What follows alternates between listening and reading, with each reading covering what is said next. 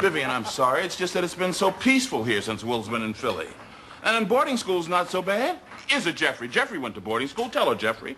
Madam, I went to boarding school.